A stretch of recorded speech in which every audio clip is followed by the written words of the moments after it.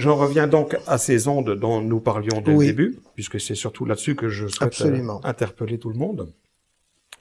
Nous utilisons des technologies aujourd'hui sans fil comme le téléphone portable, les ordinateurs portables, la téléphonie, euh, et quantité de choses autour de nous sont sans fil. Ça appartient à des organismes d'État ou des organismes privés, puisqu'aujourd'hui l'État euh, crée des organismes privés pour pouvoir gérer ces, installations. Et ces, ces appareils travaillent dans des gammes d'ondes dont certaines ne sont pas très méchantes, mais d'autres par contre, oui. Elles impactent chacun. À tout niveau. Que nous soyons à table, que nous soyons au salon en train de regarder la télé, que nous soyons en train de dormir, ces ondes travaillent et nous impactent. J'avais expliqué euh, à plusieurs reprises, notamment dans certaines conférences, j'avais expliqué que chaque personne sur Terre n'est qu'un petit terminal biologique, une petite antenne. Alors ça avait fait sourire les gens. Ils se sont dit, euh, on est là, on vit, on existe, on a pouvoir de décision, on fait ce qu'on veut. On fait... Oui, certes. Ça, c'est ce que on voit, c'est ce qu'on perçoit. Mais sur un autre plan, beaucoup plus avancé, là, on comprend que les petites antennes que nous sommes et qui se déplacent sans arrêt, comme des milliards de petites fourmis partout tout autour du globe, ces antennes ont une utilité, mais subissent aussi, à travers les ondes, quantité de choses qui font que ça impacte l'existence de la race humaine sur Terre. Maintenant, chacun est libre de croire ou de penser, sommes-nous réellement seuls dans l'univers ou sur Terre? Le sujet, euh, je le laisse ouvert pour ceux qui y sont intéressés. Mais néanmoins, il existe sur Terre, à différents types de couches, extérieures comme intérieures, différentes formes de vie, qu'elles soient animales, végétales, minérales ou humaines. Le monde du vivant n'est pas toujours fait de, de pattes, un tronc, des yeux, une tête, un nez. Non. Le monde du vivant est parfois fait de choses auxquelles on ne s'attend pas. Un arbre une plante, c'est vivant. Ça n'a pas de pattes, ça n'a pas d'œil, ça n'a pas... Voilà. Mais c'est vivant. Et ces formes de vie-là sont aussi impactées par les ondes. Il suffit d'approcher une plante qui se porte bien euh, près d'un simple compteur Linky. Euh, en très peu de temps, on va voir la plante euh, devenir toute chétive, avoir certaines maladies. Pourquoi? On, pourrait parler, parce qu'en ce moment, beaucoup de monde parle du compteur Linky, justement. Parce que Alors, ce compteur Linky, c'est quelque chose qui fait peur, parce qu'on parle de transition énergétique. Ah. Nous ne sommes pas le pays en tête de l'installation de ces technologies. D'autres pays, avant nous, ont effectivement développé ce qu'on appelle des compteurs qui sont dits intelligents. Ils s'appellent pas Linky, Linky c'est chez nous en France, notamment en Europe. Mais ailleurs, ils portent aussi d'autres noms. Et ils existent depuis un moment. Beaucoup de gens ont, constaté que lorsqu'ils sont en contact du champ de rayonnement de ces compteurs, eh bien, leur quotidien est perturbé. C'est vrai. Ils sont plus nerveux, ils sont fatigués, ils développent des maladies. On, on ira tout à l'heure dans la liste de ce que j'ai pu relever. Euh, c'est quand même assez intéressant de voir que tous ces différents points, ça impacte tout le monde. Je ne connais personne autour de moi qui ne soit pas impacté par au minimum trois points de la liste. Donc ça veut dire qu'il y a bel et bien un réel phénomène de société, il y a bel et bien une volonté pure, dure et certaine de vouloir transformer l'humanité. La cybernétique n'est pas loin, à partir de là, ceux qui sont aux manettes discrètement souhaitent transformer l'humanité pour en faire quoi précisément? Donc on va y venir.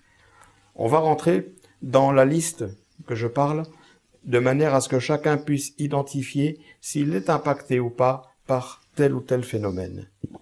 Et se reconnaissant dans la liste de différentes manières, à ce moment-là, chacun comprendra qu'il est réellement concernés par cette histoire de champ d'ondes.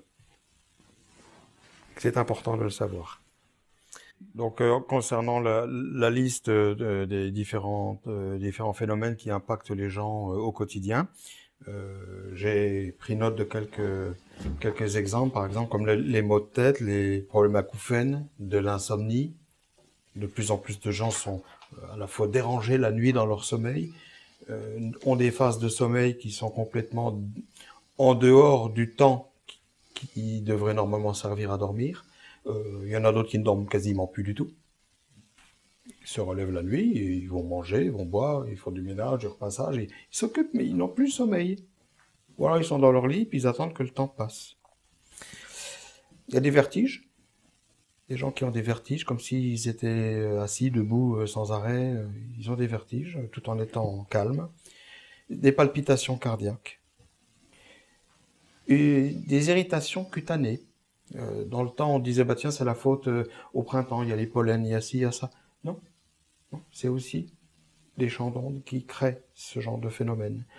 Des problèmes d'estomac, c'est-à-dire des, lourdeurs, euh, des problèmes de digestion, des, problèmes de, de, nausée, on va dire. une très haute sensibilité. Des gens qui sont devenus comme ça d'un seul coup tellement sensibles que un rien les touche. Alors ils partent soit en dépression, ou soit ils s'énervent, ou euh, on a l'impression d'avoir face à soi des gens euh, qu'on appellerait euh, bipolaires. Voilà. Moi, personnellement, j'ai connu des gens comme ça. c'est assez difficile à, vivre. Il y a également des pertes de mémoire. Les enfants à l'école aujourd'hui ont du mal à se souvenir de ce qu'ils ont fait en cours. Il suffit de laisser son enfant manger le midi à la cantine. Le soir, quand il rentre à 17h, tu as mangé quoi à midi C'est plus. C'est pas vieux. Il s'est écoulé 5 heures. Oui, on, note bien qu'il y a une perte, une érosion de la mémoire des gens. Enfin bon, on en est tous plus ou moins victimes. Quand on discute avec le, corps enseignant, les, les, professeurs nous disent, mais de toute façon, il faut sans arrêt répéter, répéter, répéter, répéter. On ne peut pas les obliger, en parlant des élèves, on ne peut pas les obliger à prendre des notes, à écrire. Alors ils sont là, ils écoutent, mais dans l'heure qui suit, ils ont déjà oublié la moitié de ce qui a été dit. De plus en plus, les gens qui éditent les revues, on voit bien en kiosque, euh, éditent des sujets dans des revues, mais très courts, qui font une colonne, une colonne et demie. Parce que les gens qui lisent ça sont des gens qui lisent ça dans les transports, qui lisent ça lorsqu'ils sont un petit peu euh, tranquilles aux toilettes, ou euh, vite fait entre deux pendant que quelque chose est sur le coin du feu dans la cuisine. Mais ce ne sont pas des sujets qui nécessitent des pages et des pages, parce que les gens ne retiennent plus. C'est fini. Et c'est très progressif, ça. C'est-à-dire que ça, ça c'est sur ces 15 dernières années, c'est ça a été exponentiel, mais très progressif, de ah, façon qu'on l'a pas vu venir quelque part. On l'a pas vu venir, mais aujourd'hui, ça impacte tellement les gens que quelqu'un qui va lire une petite colonne d'une demi-page, une colonne, hein, je dis pas la page, hein, une colonne de l'ordre d'une demi-hauteur de page, il va lire ça dans les toilettes. Quand il sort des toilettes, on lui demande de quoi il s'agit, qu'est-ce qu'il a lu, il est incapable de le dire. Alors dans Top Secret, nous on a des articles plutôt longs, plutôt pointus. C'est une façon de, de résister. C'est une, c'est une façon de d'entrer aussi en résistance que de, que de nous obliger à nous concentrer sur des longs, des longs articles et des longs dossiers, comme tu le sais. Oui, c'est pas évident. Hein. C'est pour ça que les, les, les, gens qui rédigent ces magazines-là font des sujets très courts.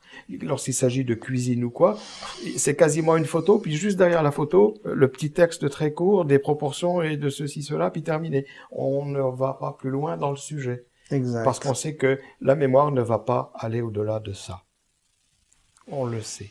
Et ces gens-là en sont très conscients puisqu'ils créent justement les magazines en fonction de ça. Exact. Et pour, pour vous, donc, cette, euh, ce serait, les cerveaux seraient impactés donc par cette accumulation d'ondes oui, parce qu'on euh, vit, qui nous traverse. On vit à travers les ondes euh, un mode de vie qui fait que déjà premièrement il est ultra rapide.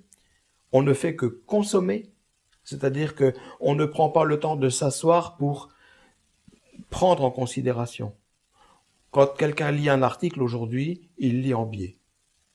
Pour avoir l'essentiel. Juste le fil conducteur de l'article. C'est tout. Les détails, savent pas. Ils ne savent pas. C'est comme ça que les gens lisent aujourd'hui. C'est comme ça qu'on retrouve les SMS. C'est comme ça qu'ils sont en train de modifier l'orthographe de manière à ce qu'on ne soit plus là à avoir besoin de se relire pour dire est-ce que j'ai bien pensé à tout? Est-ce que j'ai écrit? J'ai pas fait de faute? Est-ce que non C'est fini tout ça. C'est terminé. La qualité individuelle de mémorisation et la façon de vivre est passée à un mode de consommation ultra rapide. Et qu'est-ce qui est consommable et ultra rapide? Les ondes. Parce que ce sont des choses qui sont pulsées. Ce ne sont pas des choses qui restent. Elles sont pulsées, ces choses. À tel point que on change sans arrêt régulièrement le créneau horaire. Ah, faut avancer d'une heure. Ah, faut reculer d'une heure. Quantité de personnes se trouvent complètement déréglées avec ça, à la fois dans leur sommeil, dans leur vie. Ça n'impacte pas euh, moralement tout le monde. Mais ça arrive dans quantité de cas où les gens sont déboussolés. Pourquoi sont-ils déboussolés? Parce que tout est éphémère. Les ondes pulsées nous font vivre de manière éphémère en toute chose. Ce ne sont pas des choses linéaires, ce sont des choses pulsées comme ça. On a également euh, des pertes d'audition. Il suffit bêtement de regarder les publicités à la télé et on se rend compte que on a de plus en plus de publicités sur des appareils auditifs. On a de plus en plus de publicités sur les lentilles. J'attire l'attention sur le fait que Google, qui est connu mondialement, euh, lance depuis quelque temps des lentilles connectées. Alors, chacun pourra en penser ce qu'il en veut, mais on est depuis très peu de temps entré dans le tout connecté. On a les lunettes qui sont connectées. On ne sait plus où sont ces lunettes. Ah, bah, elles sont connectées. Il suffit de les appeler. Et je crois que les grandes sociétés qui ont, qui ont élaboré ces, ces systèmes de lunettes connectées cherchaient également en, dessous à faire des, des contrats avec certains ministères. Tout à fait. Euh, ministère de la Défense et autres, j'ai entendu dire ça. Euh, donc pour que ces lunettes connectées puissent être euh, en fait connectées aussi euh, sur certains serveurs. Voilà. Mais moi j'appelle j'appelle le public directement? Moi j'appelle le public à, à, réfléchir parce que des lentilles qui sont connectées, elles sont connectées à qui, à quoi? Elles sont connectées premièrement à ce qu'on voit, puisqu'elles retransmettent ce qu'on voit. Mais ce qu'on voit, c'est l'œil qui voit. Et cet œil qui voit, il est quand même relié de manière humaine au cerveau. Ça veut dire que les lentilles transmettent à la fois ce que la personne voit, mais elles sont également connectées au cerveau. Et donc ce que la personne éprouve en voyant certaines choses. Ce que la personne éprouve lui va directement au cerveau et ce qu'elle voit lui renvoie également des informations, des choses, des états, bons ou moins bons, directement au cerveau. Ceci est la caméra de contact iCast, une caméra HD qui se porte sur l'œil. Voici comment elle se place. Voici comment elle fonctionne. Et voici ce qu'elle voit.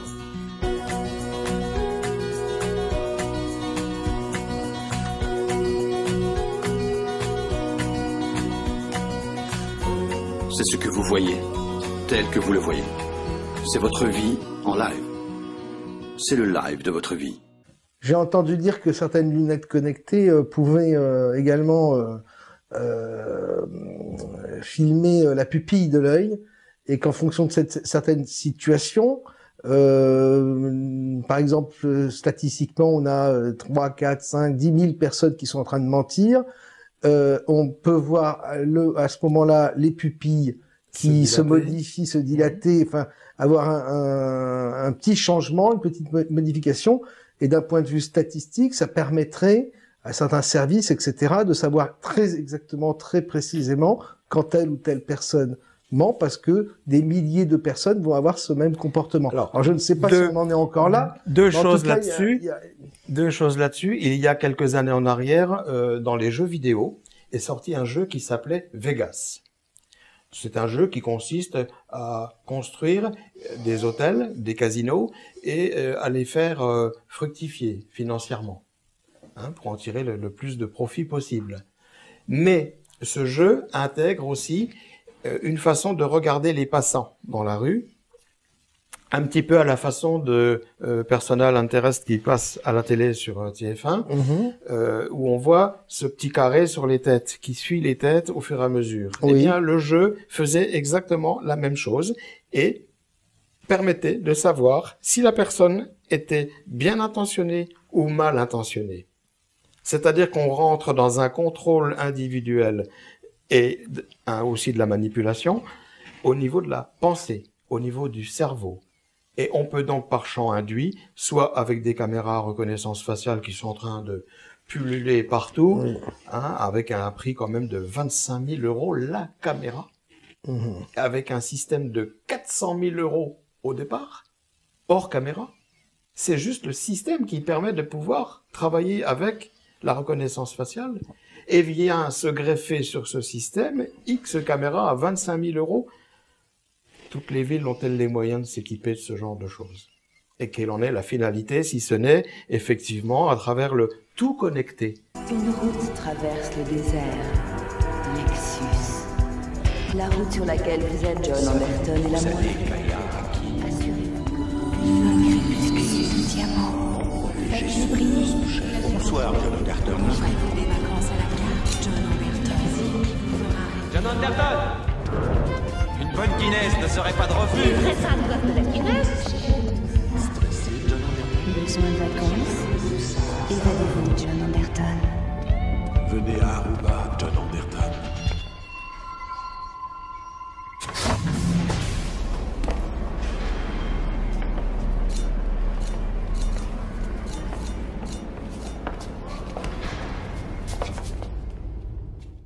Quand on dit tout connecté, c'est pas forcément les lentilles c'est pas forcément les lunettes, c'est pas forcément les systèmes auditifs. C'est aussi le téléphone qu'on a sur soi. C'est aussi la carte ou le passeport qui a une puce RFID.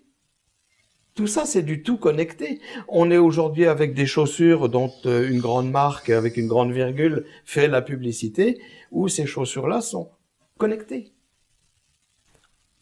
on regarde des films comme Retour vers le futur où le, blouson s'adapte à, la longueur des bras du, jeune homme, euh, les chaussures s'adaptent aussi. Euh, cette même grande marque aujourd'hui euh, a déjà sorti les chaussures et est en train de préparer pour sortir les vêtements. On arrive à ce futur dont tout le monde a regardé le film en prenant ça pour un bon moment de détente, mais néanmoins. Ces overboards qu'on voit qui travaillent sur des chandons d'induit, euh, qu'on voit dans ce film, on les vend aujourd'hui. Ils sont en vente. Ils sont à une centaine d'euros. Overboard? Mais où il est? Tiens Là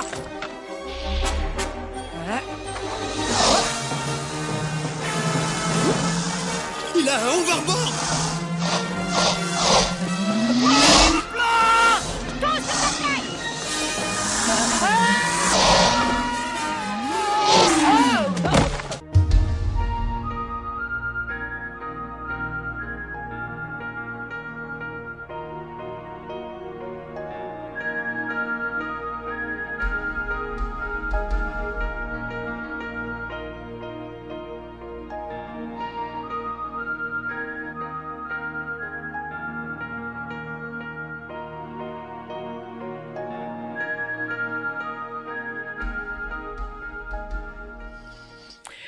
On a, également, euh, dans la perspective de la mise en place du nouvel ordre mondial, euh, quantité de technologies qui sont en train de se mettre en place, à la fois pour réduire les libertés euh, des populations, et pour justifier ça, bien entendu, les fameux attentats que tout le monde entend parler aux quatre coins du monde. D'ailleurs, c'est pas pour rien si ces choses-là ont lieu c'est justement pour pouvoir justifier la mise en place de ces technologies et puis euh, de ces forces de l'ordre qui finalement euh, vont euh, être à la limite plus nombreuses que les populations qui travaillent. Il y aura plus de répression que, que de gens qui pourront vivre sans histoire.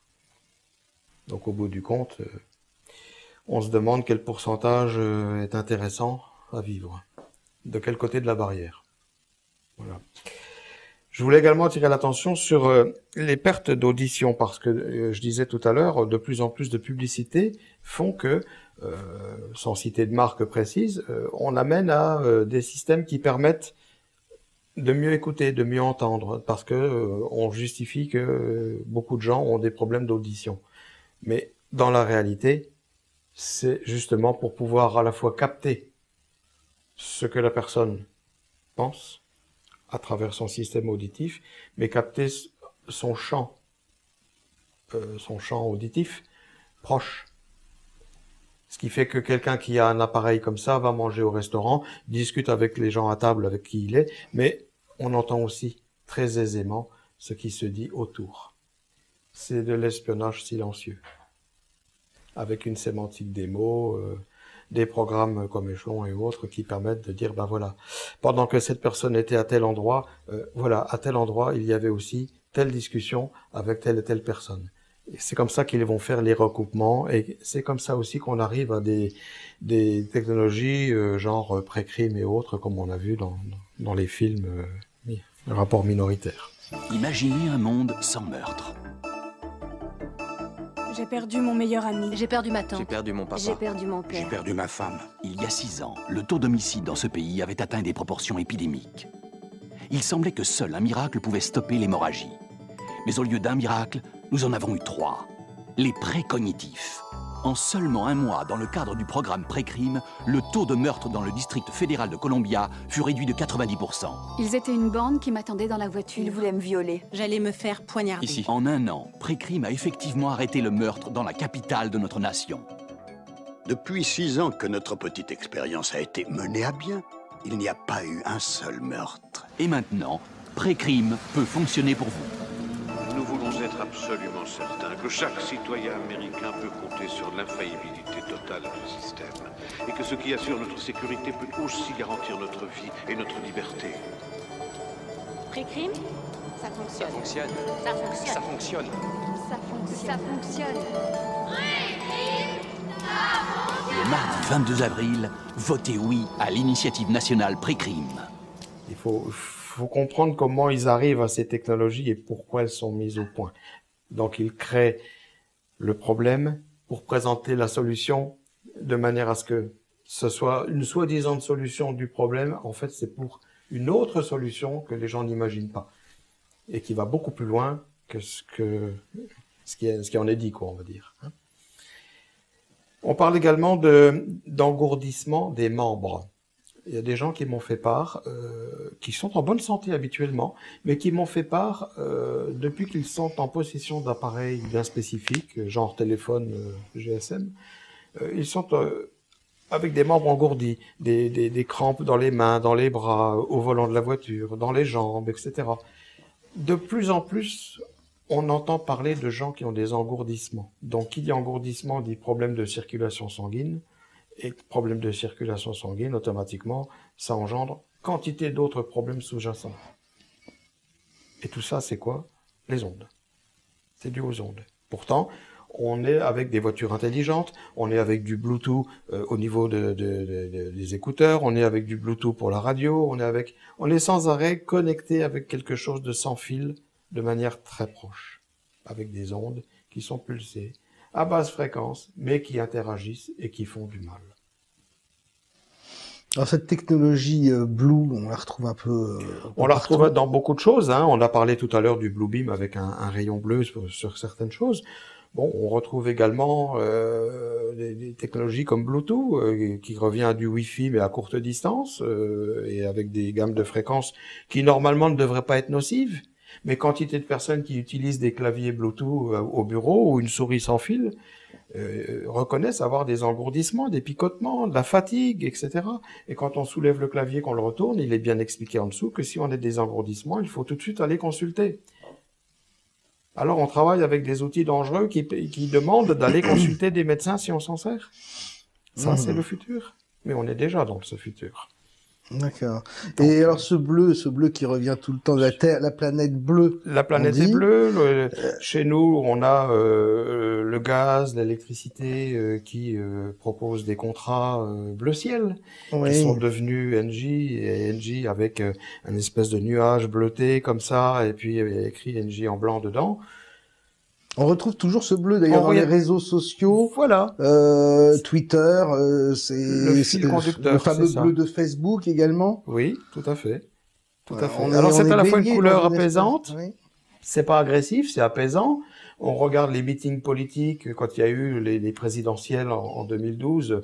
Le fond, le fond d'estrade des personnages qui se sont présentés aux différents meetings étaient toujours bleus, mais d'un beau bleu ciel, uni, propre. Je dis ça parce que beau bleu ciel propre, on l'a pas hein, avec les chemtrails. Mais bon, ça c'est un autre débat, les chemtrails. Ça vient aussi avec les ondes, hein, ça interfère aussi, hein, mais on en parlera plus tard. Je parlais également tout à l'heure de fatigue généralisée combien de gens, moi-même aussi, euh, je ne fais pas exception à la règle, hein, je suis impacté aussi comme tout le monde de la même manière, hein, mais combien de fois ça m'est arrivé à titre personnel de sentir les membres, euh, les épaules, euh, fatigue, j'arrive pas à lever le bras, je, je suis pas bien, voilà, ce sont les ondes. Alors on m'a dit oui, mais là tu habites dans une région où il y a beaucoup d'eau, etc. Il y a beaucoup de cours d'eau. C'est vrai que là où j'habite, il y a beaucoup de lacs, mais c'est pas ça qui fait que j'ai beau changer de région, le problème reste. C'est bien l'impact des ondes. Et quand on regarde un petit peu là où j'habite, il y a beaucoup de, forêts, de choses comme ça. Là, on regarde, il y a même de faux sapins qui sont des antennes. Mais ce sont des faux sapins parmi les autres sapins. Ce sont des antennes que nos, chers euh, opérateurs téléphoniques euh, implantent à droite à gauche. On a eu les grandes antennes sur des mâts, on a eu des grandes antennes sur les toits. Maintenant, on a des antennes plus courtes. Après, on a dissimulé les antennes sous des fausses cheminées. Maintenant, ce sont des faux arbres. Les antennes sont maintenant dans les, dans les lieux publics, dissimulées dans les enseignes. Combien d'enseignes, genre McDonald's et autres, diffusent sur le parking leur Wi-Fi totalement gratuit? Y a-t-il une antenne Wi-Fi? Non, elle est coulée dans l'enseigne. Qui voit Personne. Strictement personne. Les systèmes autoroutiers, euh, on a, dans le temps, on prenait son petit ticket à l'automate. Maintenant, on voit ça de moins en moins. Partout, on a le petit T, liberté. Mais le petit T, liberté, de quelle liberté parle-t-on? Du petit boîtier bleu qu'on doit fixer au pare-brise et qui fait que la barrière se lève toute seule quand on arrive à proximité et qui fait le péage directement sur le compte bancaire sans avoir à s'arrêter. Ça aussi, ce sont des ondes.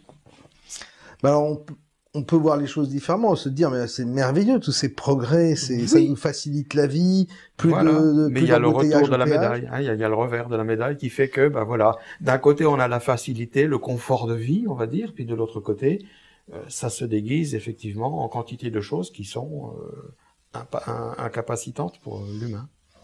Derrière ces ondes, ce sont des programmes bien précis c'est pas comme ça envoyé euh, juste pour dire faire fonctionner tel tel truc. Non, non, il y a des programmes. Parce que derrière, c'est aussi la réduction des masses de population.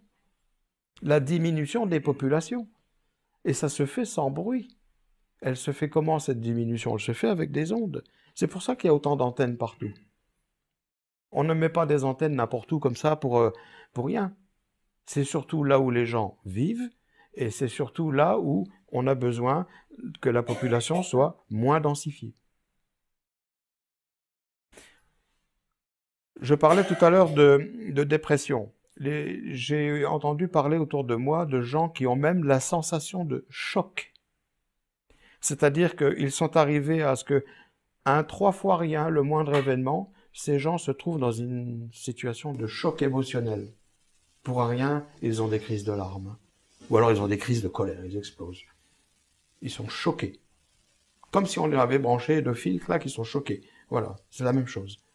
C'est encore une fois des ondes. L'électricité dans le corps, ça aussi. Beaucoup de médecins euh, commencent un petit peu à mettre l'accent sur le fait que euh, il y a de la recherche euh, qui se fait parce que quantité de personnes ont l'impression d'avoir comme si on les électrocutait. Ils sont là, au calme, dans leur salon, en train de regarder un film. D'un seul coup, clac, hop, un, grand arc électrique dans la cheville. Oui, Qu'est-ce qui a fait que? Il y, a, des phénomènes également. On a, parlé dans dans Top Secret, on a fait un dossier là-dessus sur les, le harcèlement électromagnétique avec des personnes qui sont victimes d'armes ah d'armes électromagnétiques euh, utilisées par une euh, par une cybercriminalité, enfin par une, une criminalité high-tech qui utilise des, des, des techniques euh, d'ondes, oui. euh, basse fréquence ou ondes pulsées pour pour pour pour nuire à, des personnes. Ça va assez loin et le problème c'est que c'est pas encore reconnu ça par. Bah parce que c'est utilisé, c'est utilisé de, de, pays à pays pour se livrer des guerres. Donc ils ne vont pas mettre ça sur la place publique. C'est ça. Moi, j'ai assisté à des démonstrations euh, il y a quelques années en arrière où il s'agissait d'un véhicule militaire avec euh, comme une grosse parabole qui se lève comme ça, et puis euh, un bus est arrivé à un checkpoint, ils ont envoyé l'onde. L'onde a fait tchouf, terminé. À la seconde même, les 50 personnes du bus ont été brûlées, carbonisées, noires, aussi noires que des vêtements. Et les corps ont rétréci, ils ne faisaient que 50 cm. Tous les, quand la grue est arrivée avec la, la, pelleteuse pour faire la tranchée, ils ont creusé 53 cm précisément. Ils ont aligné les corps, ils ont rebouché, tassé, ni vu ni connu. Aujourd'hui, ce système embarqué sur ces appareils est euh, à l'œuvre, euh, pas encore chez nous en France, ce qui ne veut pas dire qu'on n'en possède pas. Attention. On en possède très certainement. J'en ai pas encore vu sur le territoire, mais je ne serais pas surpris qu'un jour on découvre que nous sommes également détenteurs de ces armes-là. Alors le souci, c'est que au-delà des, encore même au-delà des États, c'est des armes qui peuvent tomber entre les, entre de mauvaises mains. Bah, C'est-à-dire que ce sont des armes qui sont euh, développées pour pouvoir euh, euh, anéantir des foules en cas d'émeute, en cas de voilà, on envoie une onde, un choc électrique. Ça fait penser, ça fait penser à ce qui était montré dans euh, dans le film euh, où on voit euh, le film avec Tom Cruise, où on voit notamment ces gens qui sont euh, réduits en poussière en quelques centièmes de seconde après avoir reçu un rayon électrique.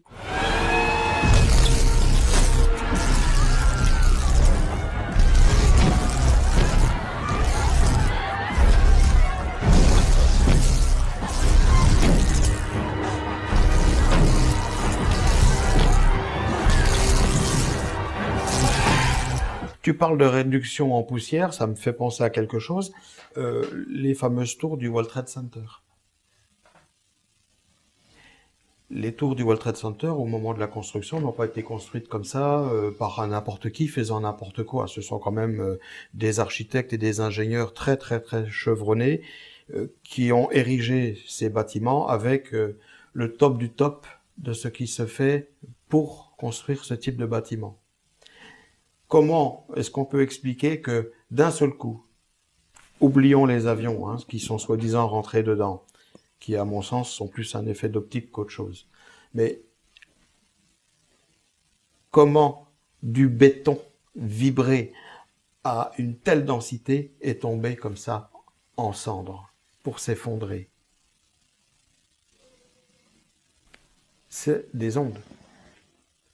Parce que ce béton qui est vibré, et dedans il y a quand même de la caillasse, du silex, on ne fait pas comme ça, on ne réduit pas en poussière ce genre de choses aussi facilement. Et ce sont des ondes. Et ces ondes ont été propulsées par quoi?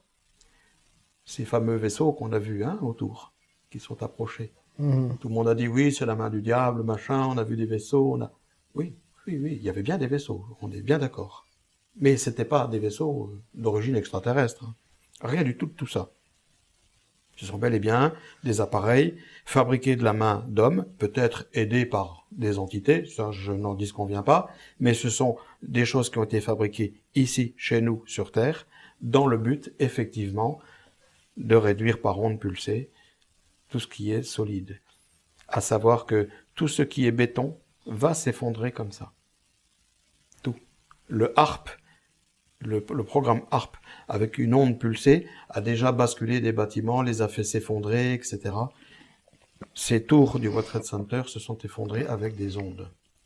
L'histoire des, des explosions, machin, des explosifs à différents étages, c'est un leurre. C'est pas ça qui va faire que ça va s'effondrer. Parce que le métal aussi épais qu'il puisse être, qui est coulé pour pouvoir faire en sorte que ces tours soient érigées, pour que ce métal fonde et soit tordu, c'est pas une explosion. Parce que la densité du métal a été modifiée.